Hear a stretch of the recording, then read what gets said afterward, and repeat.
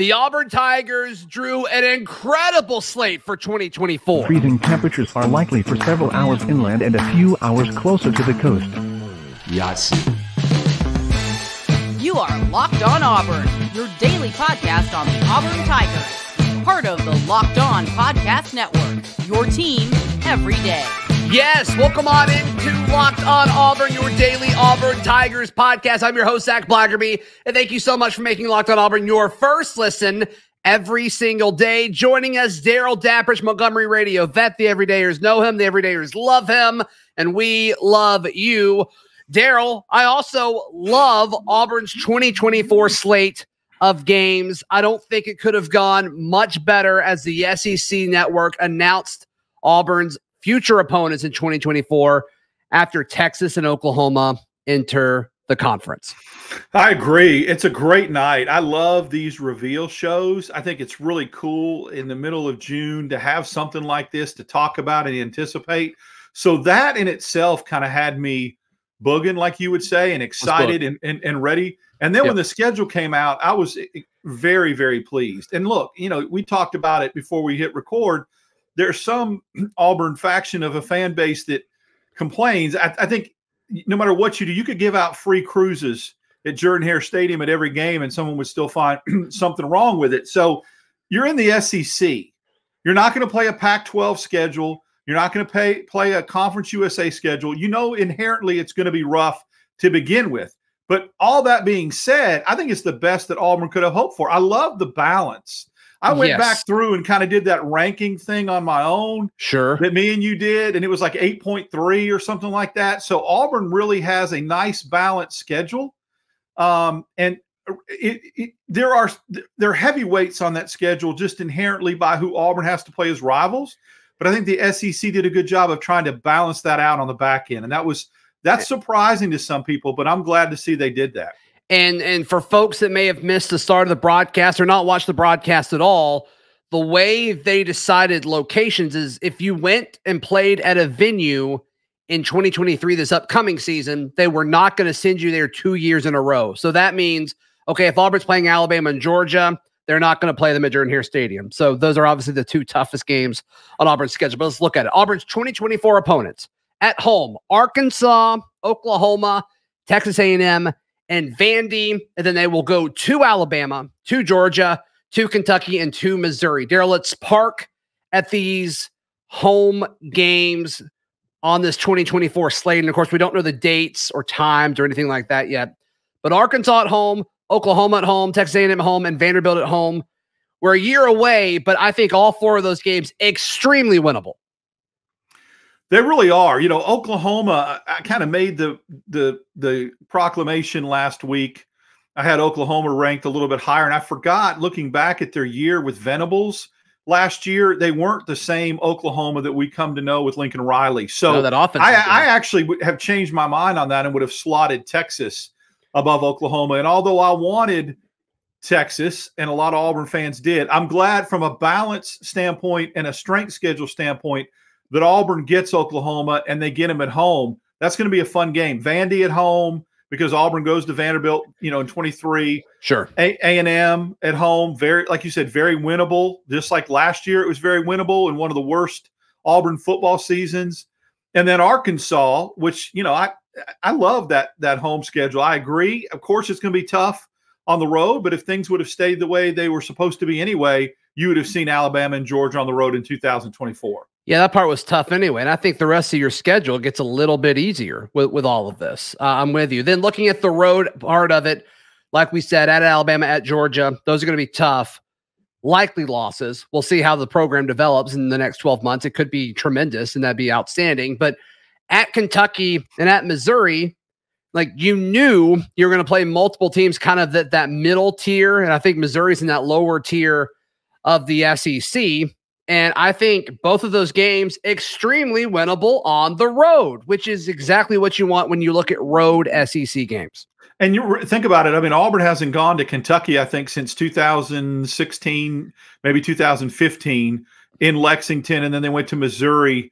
Uh, Jarrett Stidham's first year which Played on like a Thursday night, right? Yeah, two th- yeah, Kentucky? Auburn. Yeah, on a Thursday night in Kentucky, Sean White made started. That was an Auburn win, and then they played at Missouri in 2017, where Auburn put up like 50 something points. I mean, it was Kerryon, I think, scored like four touchdowns in that game. That was a great game. That was a coming out party. It was the third game of the year, I believe, in 2017. So Yeah. it's been a while since Auburn's been to Columbia, Missouri, and to Lexington. So that's good.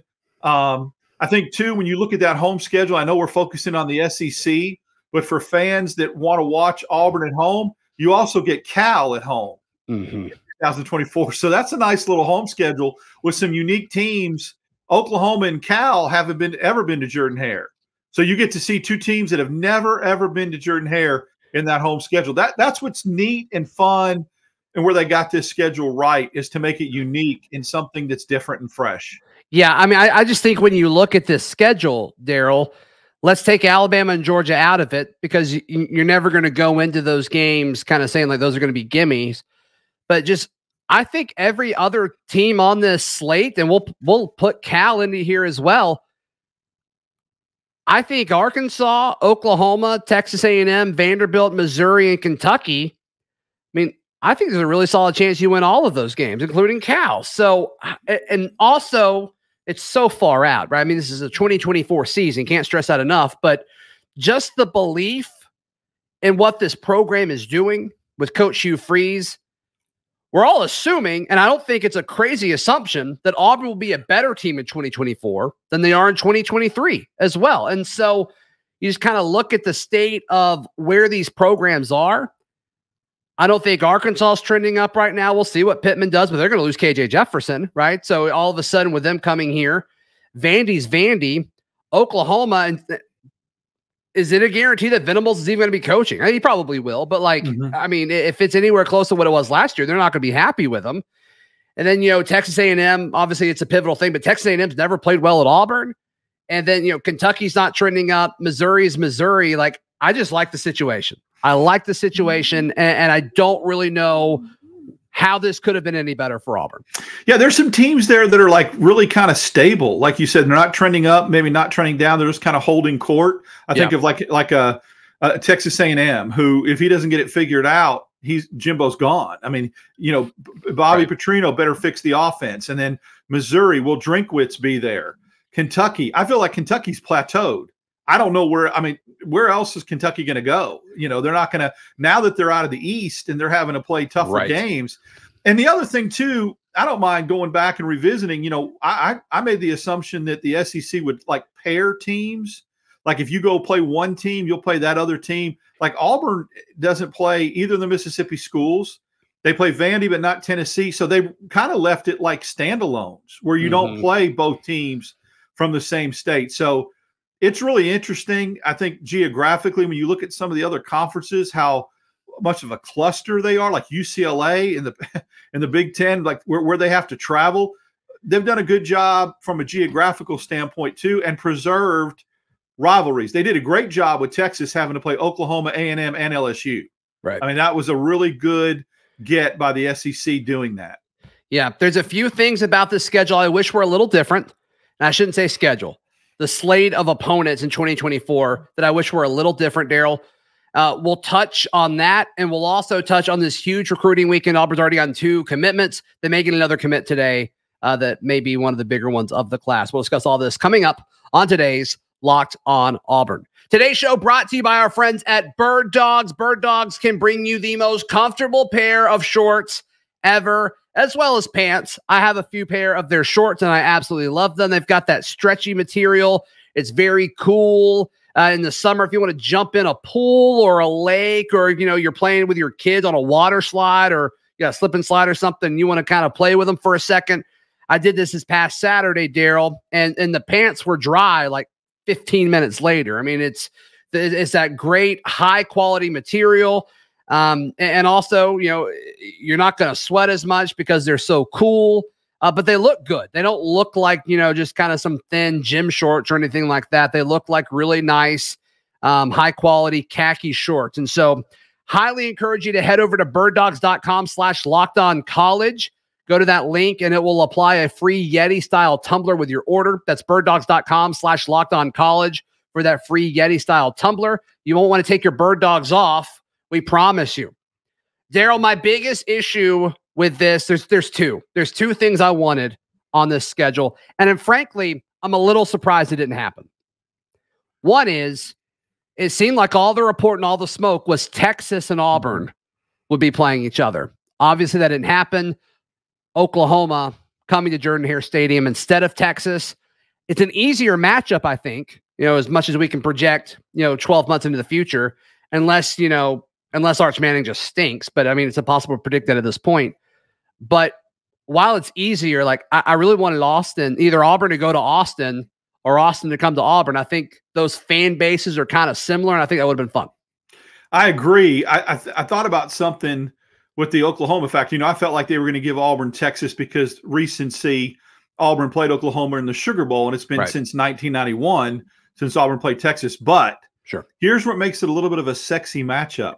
Remember, Ooh. remember the crap that Venables spewed after he took the Oklahoma job about Auburn and its boosters and its trustees. I mean, he ran some smack uh, unsolicited. It wasn't like somebody asked him, "Hey, what do you?" He was like, "I talked to my daughter. She wanted to know why, and I just said I didn't have a good feeling about it. Not everyone's on the same page."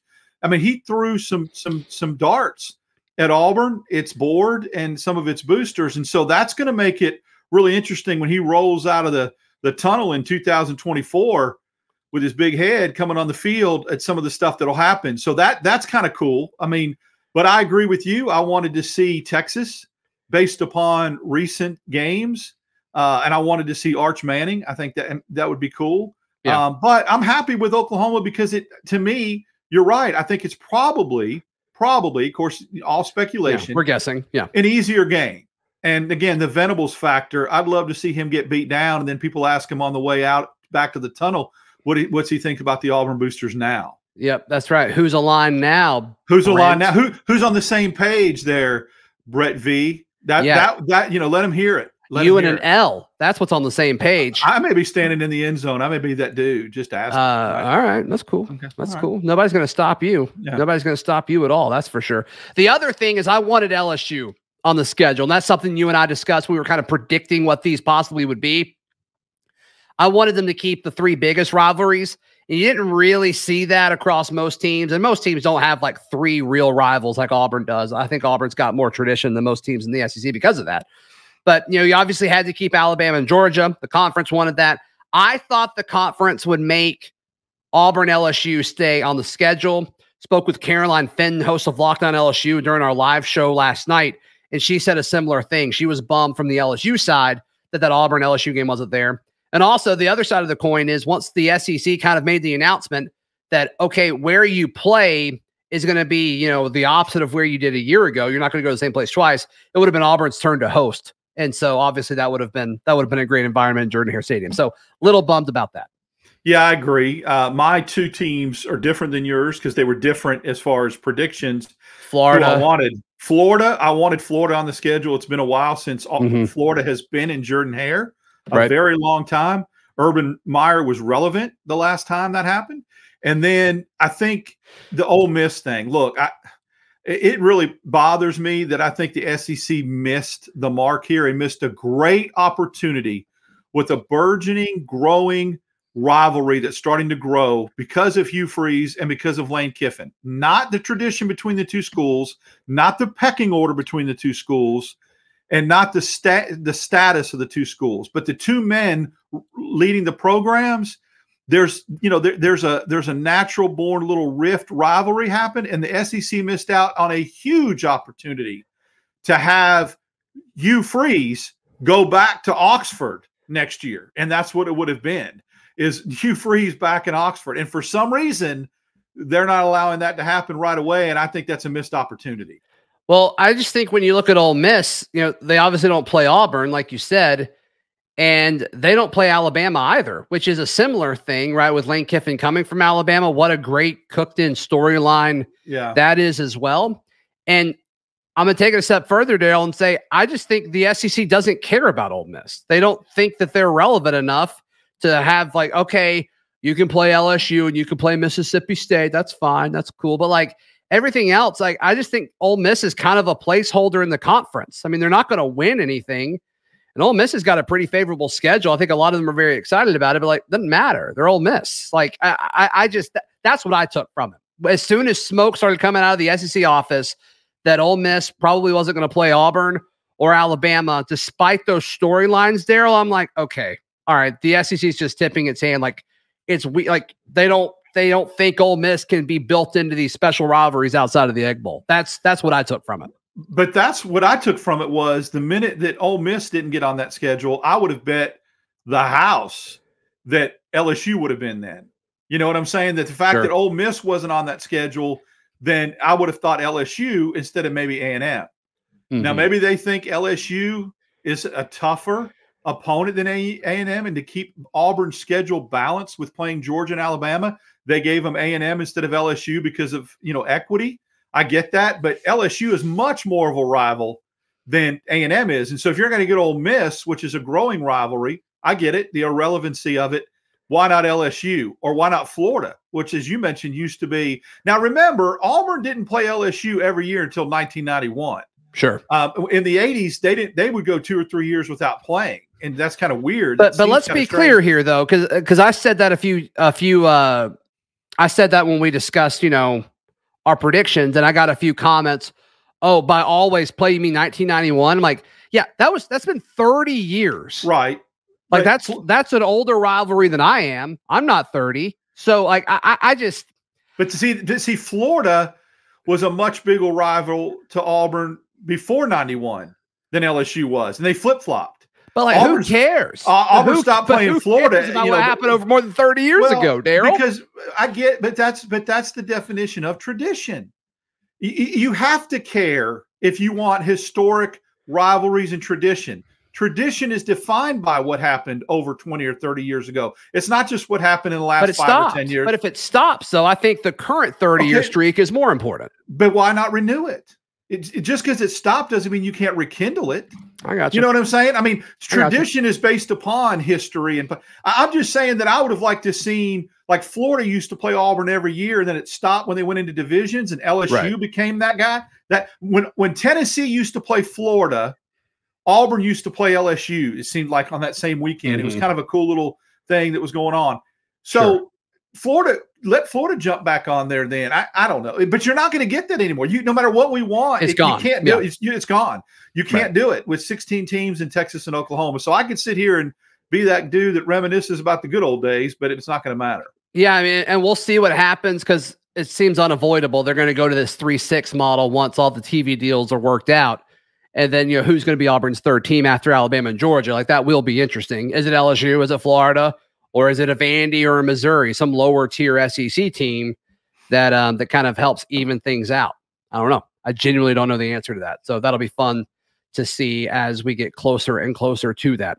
Darrell, huge recruiting week already, and later today could be even bigger. We discuss what all has happened, recruiting on the plains in just a moment, right here on Locked On Auburn.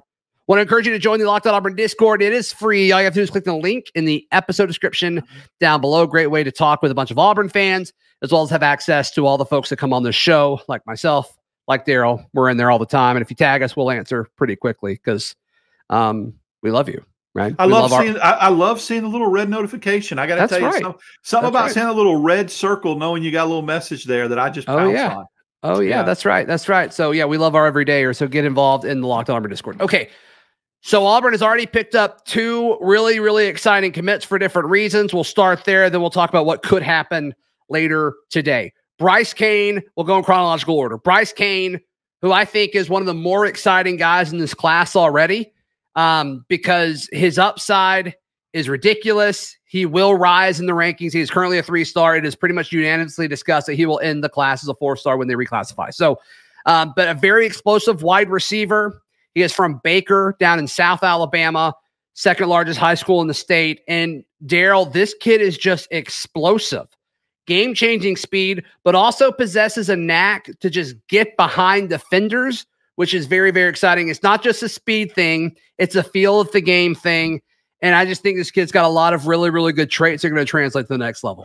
Couple things. First of all from a from a bird's eye view people that panic over getting kids that are three stars and making comments about three star you and all that put that away for two reasons. Number one what Zac just said this kid will be a four star before it's all said and done. He's a riser. He's going to end up being one of the best wide receivers in the state period.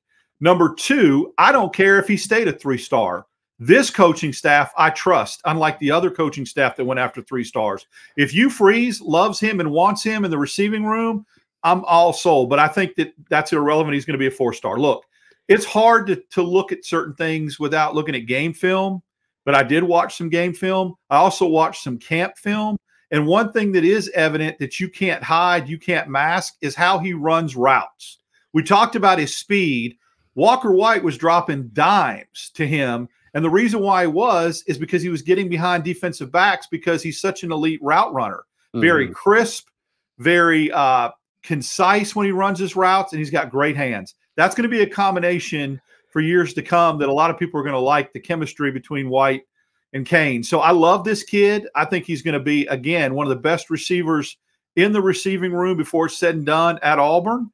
And uh, speed to burn. But when you combine his speed with his route running ability, it's very, very excellent as far as a get for Auburn. I'm excited. It's a, it's a really good wide receiver get for Hugh Freeze and company.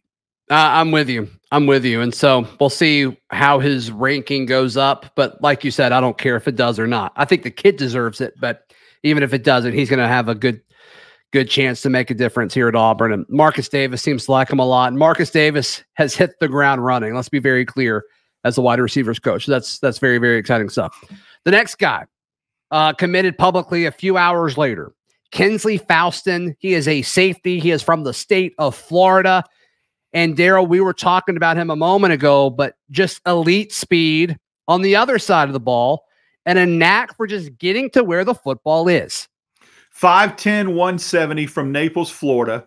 Has already been said that right now, him and Bryce Cain are the two fastest guys in the Auburn class. How great is that that they committed within an hour and a half of each other? Yeah. Here's the thing about Faustin. Number one, he's a safety. Now, it looks like he's a little undersized for a safety, so tackling at the line of scrimmage could be something eventually that could be an, uh, an issue. But okay. you know, we know that he's going to put size on at Auburn. He's 170. He'll probably end up playing at 185, 190. Sure. But he has elite speed. And there's a, you know, it's a funny about football. Every five or six years, different terms come up, different catchphrases that people will throw out, scouts, evaluators. And when they talk about him, they talk about him being an elite chaser. Mm. Now, what does that mean? Well, chaser, when you're playing safety, and he's going to play field safety or free safety, not strong safety, because that gives you the most flexibility to roam boundary to boundary. When you're an elite chaser, it means two things. Number one, you're able to get to the receiver and cover crossing routes. As you know, crossing routes are the hardest to pick up, to identify, and to get to the receiver with all that traffic because naturally, when you're crossing, it creates that natural pick, that kind of thing. It's hard to get through the traffic and cover and chase crossing routes. They said he is elite at that because of his speed. That is a very, very sought after factor in a defensive back in any level at corner or safety yeah. that can go cover the crossing route. So that's number one. That's difficult. Number two, sure, he's good at chasing the deep ball. Meaning, if your corner gets beat one on one and out and up, a pump and go, he is able to track that down from his position on the field, cover all that ground, and chase down the receiver that has your corner beat on the deep ball. Those two attributes and those qualities in a defensive back are what puts guys in the league. If you can cover crossing routes and jump that and fight through traffic because you're so fast, and if you can track the deep ball and cover for a corner that got beat, you are elite. Get 10 or 15 pounds on this kid so that he can become a tackler at the line of scrimmage, and you're going to have a special, special safety. I'm with you. I think you nailed that evaluation. I think he's going to be a fun, fun part of this class. And you know, we we talk about guys, athletes that come out of Florida. It's always mm. can't have enough of those. So uh, this could be an even better week on the recruiting front, depending on how it goes today. So at noon, Joseph Phillips, He's from Tuskegee, right down the road from Auburn. And he seemed like an Auburn lock for forever. But over the last few weeks, he's really trended hard towards Georgia. Mm-hmm. And it seemed like Auburn was the main school on him early. And then everybody else got involved, went to Alabama, went to Georgia. And he's been really, really tied to Georgia.